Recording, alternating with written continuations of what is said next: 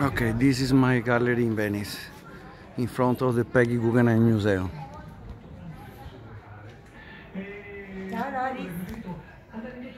Check the details of, of the woman body. It's beautiful, the movement is perfect. Eh? The combination hat, scarf and umbrella. The raincoat is limited edition, like the umbrella. The hat no. Are the details that make the difference eh, on my sculpture. This is a painting close.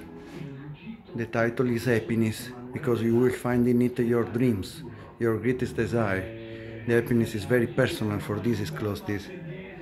This is a doctor's bag. This is painting. This is for the key. This is in walnut wood. The zipper is real. It's very heavy the bag, eh? Are 35 kilogram.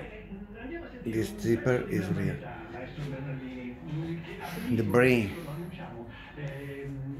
This shirt is very nice. The hanger is the same piece of wood. The hook is in metal because the, the shirt is heavy. He's painting only the hat and nothing else. Check this bag.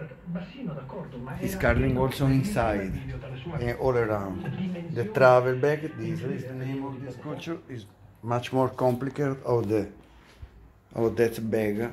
That is the doctor's bag. This uh, this sculpture I was 15 years old when I carving this. The rope is in wood, but it's only for illusion. There is another in nylon because it's heavy. The little rope is a separate movie and this carving all around the sculpture like the front. Eh? The handle is in walnut wood, it's no painting. Eh? This is a book chair, you can sit down, it's very comfortable. Are three books, it's very heavy.